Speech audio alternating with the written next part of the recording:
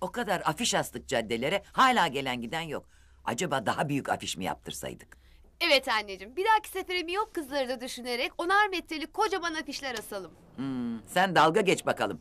Zaten Allah evladın iyisini Ruşen amcanlara vermiş. Bak Ruşen amcanın oğlu Sedat'ın kız kardeşi Sabahat'e abisini evlendirebilmek için nüfus sayımında gönüllü nüfus memuru olup mahalledeki bütün bekar kızları tespit etmiş. Ya Of Allah'ım Allah'ım.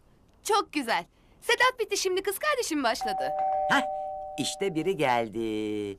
Dur bakalım pek merak ediyorum bu ilk gelen kız nasıl bir şey? Ay evet anneciğim ben de çok merak ediyorum. Acaba afişle gelen kız nasıl bir kızdır? Herhalde salaktır.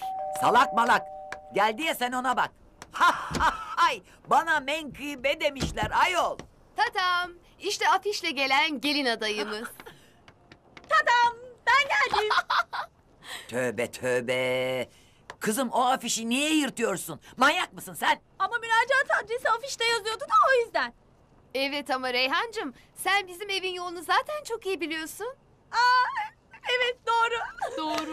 Neyse Menkıbe Hanım teyze. E, ilanı müracaat, e, müracaat eden bir kişi olarak e, evlenmelik oğlunuzla Allah'ın emri, peygamberin de kavliyle evlenmek istiyorum. Hayır efendim. Olmaz. Ben vazgeçtim. Yani düşündüm de ilanla gelen bir kızdan pek hayır çıkmayacağına karar Yani. verdim. evet. İlanla gelse gelse ancak salaklar gelir değil mi? İşte aynen öyle oldu.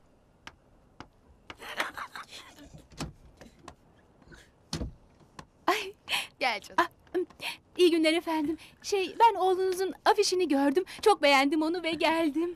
Hep böyle poster olan bir erkekle evlenmek istemişimdir. Yok ya o zaman afişle aranan teröristlerle evlensen. Reyhan susar mısın sen? Ya niye susacakmışım ha? Niye susacakmışım? Sustukça sıra bana mı gelecek ha? Aşifte kadın. Ben afişte falan değilim. Bal gibi aşiftesin işte. Afişte gelene aşifte denir. Afişte kadın.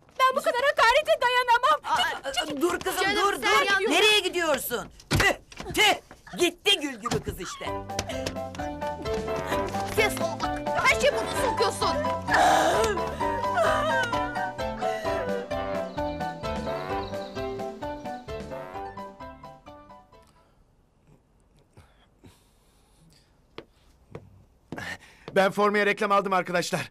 Kadın pedi reklamı. Ee, Hopidi hijyenik kadın pedi. Ben de köpek maması reklamı aldım. Hır hır köpek mamaları. Ben de tuvalet kağıdı reklamı alabildim ancak. Pırıl tuvalet kağıtları. Ben de karşı eczaneden basür ilacı reklamı alabildim. Rendesür basür ilaçları. Ne o kanka? Senin moralin neden bozuk? Hı? Reklam alamadın diye mi? Ne? Yo öyle dalmışım işte kanka be. Arkadaşlar, çalışıp çabalayıp gayet iyi reklamlar bulmuşsunuz. Yalnız bu reklamlar uzun arkadaşlar. Hopidi hijyenik kadın pedi. Pırıl tuvalet kağıtları. Arkadaşlar bu reklamlar çok uzun. Bunlar formaların etrafını iki tur sarar. Ben bir akü firmasından reklam buldum Önder Bey. Hah bak bu güzelmiş işte. Ee, akü kısa. Peki bu akü firmasının markası ne? Sakla samanı gelir zamanı oğullarından akü. Çüş ulan çüş be! Arkadaşlar bu iş için biraz pratik zeka lazım. Pratik zeka. Bir zamanlar biz devrim nikahı kıyarken ailelerimizin de değerlerini göz önüne Alo. alıp devrim kınası yapardık. sen misin? Geline bak geline. Tamam. Kınalar sürmüş Tamam. eline. Tamam Haydi tamam. yoldaşlar, İş çıkışı gelin. kafede buluşuruz. Devrimin kına gecesine. Haydi yoldaşlar haydi. Dayan.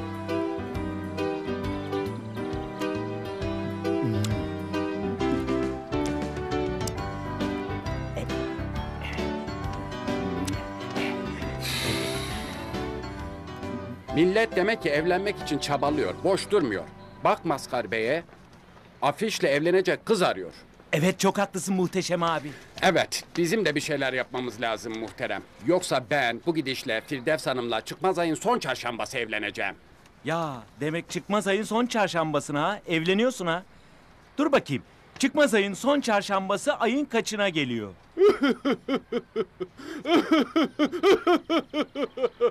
Lan Allah'ın ördek beynlisi, çıkmaz ay diye bir ay mı var? O bir deyim. Evet, hakikaten öyle bir ay yokmuş muhteşem abi. Olsa takvim yazardı. Bak bakalım o takvime senin bir salak olduğunu yazıyor mu? Salak, salak, salak, salak. Yok yazmıyor muhteşem abi. Göremedim.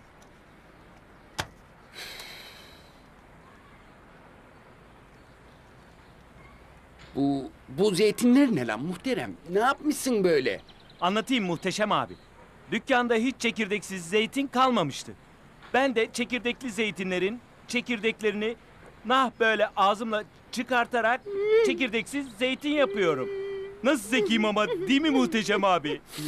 Lan seni boğarak ben de içindeki o canı çıkartayım mı? ha? Çıkartayım mı? Açmayayım mı seni? Selamun aleyküm. Hayırlı işler. Dua et müşteri geldi kurtuldum. Ben bir ekmek, bir yoğurt, beş tane de yumurta alacaktım.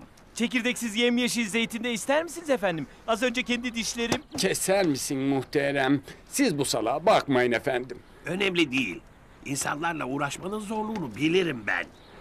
Bu yüzden hayaletlerle uğraşmayı tercih ediyorum. Hayaletlerle mi? Hadi ya. Ciddi misiniz? Evet.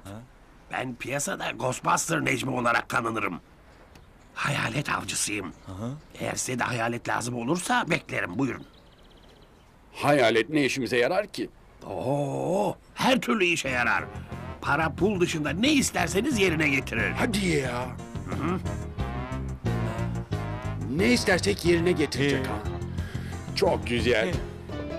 Kanalımıza abone olarak tüm videolardan anında haberdar olabilirsiniz. El alem utansın o beni terk etmemiş Gel şöyle otur Ruslar yanı yanı başıma Görsün millet gerçek yan yana Ruhuna sağlık